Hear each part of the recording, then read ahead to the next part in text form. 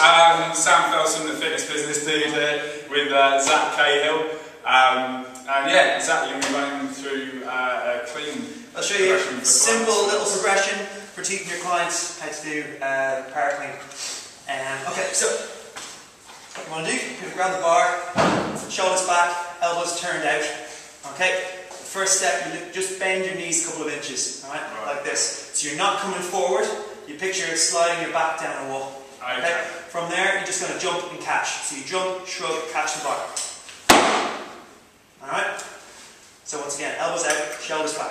Yeah. Bend the knees, jump and catch. And you just do that a couple of times. Okay, you want to emphasize Right. when this lands, that's when you're stamping when your feet. Okay. So that's step one. Yeah, Step two, and you do it at this pace, you slow it down. right. Bend the knees, bend the hips. Okay, so you get into a position where the bar is just above the knees, shoulders ahead of the bar. Yeah, Come back up, jump and catch. right. So it's one, two, three, four. Okay? And you'll see them start to get sloppy with it. They'll just start doing that kind of thing. But Yeah. just emphasize, okay, take your time. It's just a drill. One, Yeah. two, three, four. Right. Okay? Yeah. From there, you pretty much eliminate the pause. Yeah. Right, so you're coming down.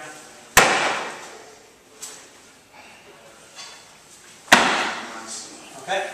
And then you can start to get them to add, to add in a little squat. So they'll probably they're probably catching the bar in like a quarter squat position. Okay. So then you can say, right, instead of coming up, Yeah. just go down into a into a front squat Yeah. and back up. And for most people just beginning, that's enough. Like you don't have to be doing a full squat clean with them. Yeah. It's enough just to get the power clean. Just those few little steps, they should get it straight away if they, if they move reasonably well. Yeah. So the whole thing from the top, a couple of reps, bend the knees, jump and catch it. Nice. Alright, then it's one, two, three, four. Okay, and then you're doing the whole thing together. At that point, you might put a little bit of weight on the bar, Yeah, just a tiny bit. like five each side, just to have give them something to pull against, Right. and you're just running the whole thing together. Nice and smooth. Yep. Sweet. And then you can start adding in. So there we are. Squat. Knuckles. That's it. Sweet. Um, so yeah, if, if like let's let's have me have me Yeah. try it out. Cool. I'm not super experienced with, uh, Alright. with Olympic lifts, so Okay. this will be good. Cool. Good for me. So bar. Right, so elbows turned out. Okay, Uh, towards like that. way. Because you want your arms just like ropes. You don't want to just using your arms to pull the bar. Yeah, Your arms are just relaxed like ropes. Just elbows turned out. yeah. Draw your shoulders back, lift your chest. Okay? Now imagine your back's against the wall. You can it back down the wall about four inches. So, yeah, there. Just jump and catch. Yeah. Come back down. So, even less of bend at the knees. Right. Alright? Elbows turned out. Like this. Yeah, big jump, shrug and catch. Okay? So, your catch position needs Yeah. to be Arm needs to be more. There. So I need to Right. push those elbows. Yeah, you, you, you whip the elbows underneath, up Yeah. nice and high. It's like just like a front squat. Yeah. Okay, drop that down, do it again. Bend the knees, jump. Good. Yeah, get it right into the throat. Yeah, Right behind the elbows. Right. Right, bend the knees, jump. Good. That's better. Needs to be aligned with. Not bad, not bad. Do one more. So bend the knees, jump. Cool. Okay. Bar against the thighs. Now, bend the knees, bend the hips, shoulders ahead of the bar. Right, so knees are tight. Knees are still slightly bent. Come back up, knees still bent, jump and catch. Bend the knees.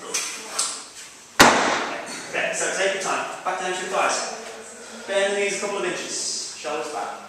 Now, get shoulders ahead of the bar. Like this. There we go. Straighten back up, knees still bent.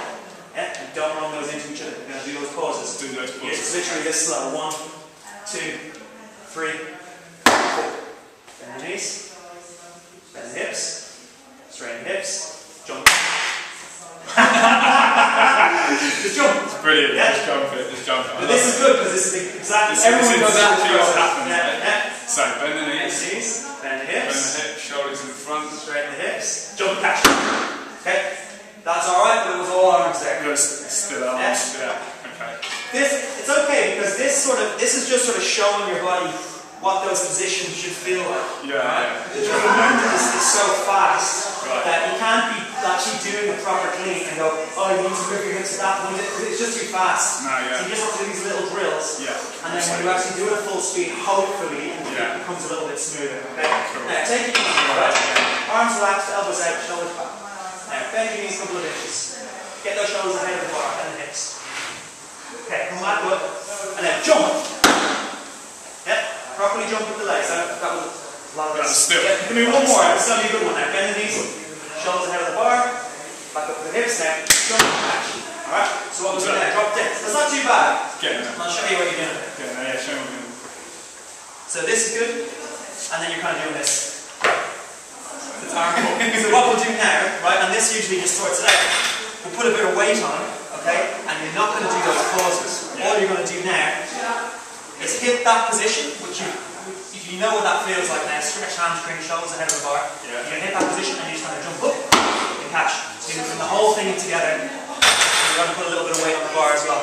Because it's easy to kind of just, when it's so light, you mm. just do that. Yeah, You need something that kind of forces you to lift with the legs a little bit as well. Okay. Alright? So you put some maybe some bars on each side. Still quite light.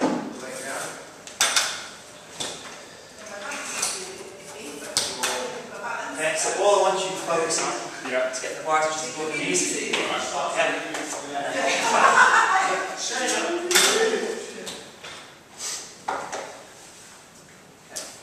Make your grip even. Using the arms to climb off. Yeah. Okay. So just like there. Pretty good. Come back down. Right. Too much arms. Turn those elbows out, shoulders back. Take there. Back. That's where you want to get it. Alright? Now you get it. That's nicer. Much nicer. Come back. There you go. Nice. Okay, drop down. Good. So, not perfect, right? Takes a long time to perfect it. but You know, it doesn't need to be perfect. Yeah, it felt better with the And that's doing you haven't really never do these in your, your training. No. So that's the kind of that's the kind of process you'll actually see with clients. Little mistakes they'll make, and those are the ways to correct it. It doesn't have to be perfect. It just has to be efficient Yeah. and safe and effective. Absolutely. That's awesome. So you're going to be teaching these techniques uh, uh, The yeah, very, very recently. the mass, muscle and strength Mass, seminar. yeah. Myself, Jacob, and Denny, we're going to go through strength and power uh, training, how to kind of how to work that into your training, and also how to do more Jade's and cover more sort of bodybuilding, classic sort of bodybuilding Yeah, he's Max and muscle model. Max muscle, you know, fitness model, all that kind of stuff, and competitive bodybuilder. So it's how you combine the techniques from those two various areas, Right. work that into your own training so you can be strong and you can be in good shape, you can build muscle, you can be lean. You superhero, Awesome, man. I'm to be there. I'm going to be Fly. kicking and all right, sweet. All right, thanks. Adam. No, nice one. Cool, see you.